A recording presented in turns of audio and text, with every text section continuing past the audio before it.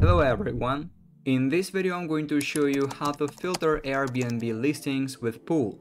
So actually it is very quick and easy, I'll show you how to do that, but you need to watch this video till the end so you won't miss any important steps.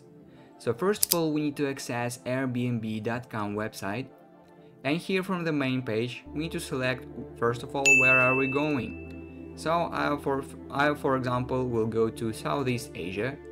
Here I need to select the date range plus minus 14 days and then I need to click on the search. Here I will have all the results. But if I want to filter them so I will see only the results with the pool, all I have to do is to click on the filters button here in the top right corner.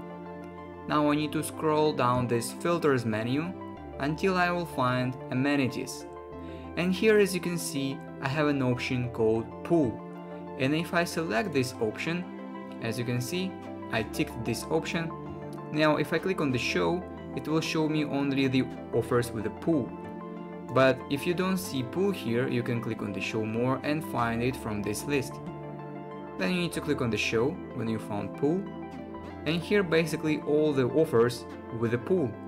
And that is basically how you can filter listings in Airbnb with a pool. If you found this video useful, leave a like and subscribe to the channel. Thank you.